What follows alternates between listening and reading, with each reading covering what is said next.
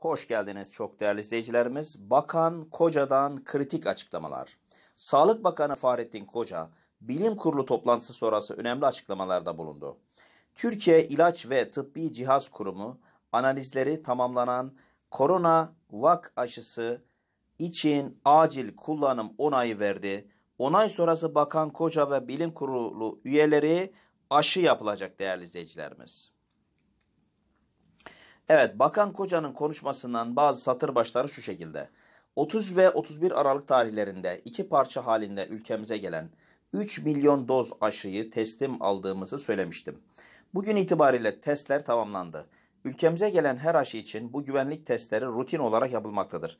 Bildiğiniz gibi daha önce acil kullanım onayı vermek üzere değerlendirme yapıl, yapabilmek için faz 3 çalışması ülkemize devam eden aşının sonuçlarını talep etmiştik.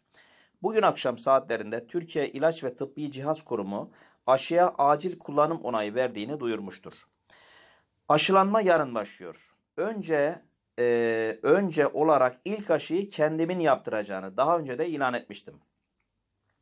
Bilim kurulu üyelerimizden hastalığı geçirmemiş ve gönüllü olarak aşı olanlarla birlikte ilk aşıyı olacağız. Yarından itibaren sağlık çalışanlarımızın aşılanmasına başlanacaktır.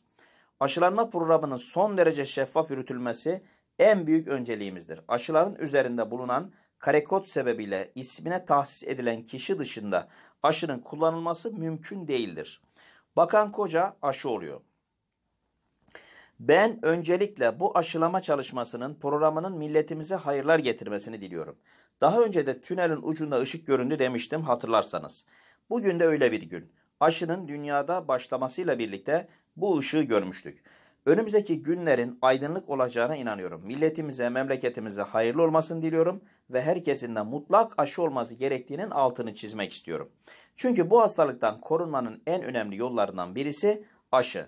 Normal eski hayatımıza dönmek için aşıyı mutlaka yaptırmamız gerekiyor diyor Sayın Sağlık Bakanı Fahrettin Koca. Bu önemli gelişmeyi sizlerle paylaşıyoruz değerli izleyicilerimiz. Böyle önemli bilgilere anında ulaşabilme adına kanalımız Atasever Haber Eğitim kanalına abone olmayı, bildirim zilini açmayı, videomuzu beğendiyseniz beğen tuşuna basmayı ve linkini paylaşmayı unutmayınız. Bir sonraki yayında görüşmek üzere. Hoşça kalın değerli izleyicilerim.